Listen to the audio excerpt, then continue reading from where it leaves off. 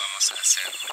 Ah, vamos a hablar sobre como dichos o frases, como lo quieras llamar, que muchas personas tenemos en español y pero también existen otros idiomas pero no sabíamos francés o inglés pero hoy pues lo vamos a decir en inglés también So, Ini is going to say un dicho in Spanish, and I'm going to say what we say in English. eso es pan comido Piece of cake.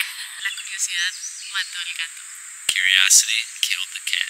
vamos al grano Let's get to the point.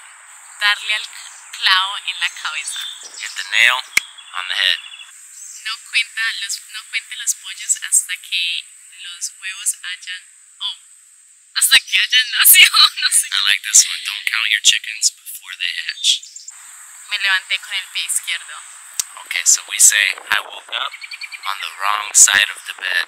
das la mano y te agarran el codo You give an inch, and they take a mile. y cógela suave Take it easy. Adios.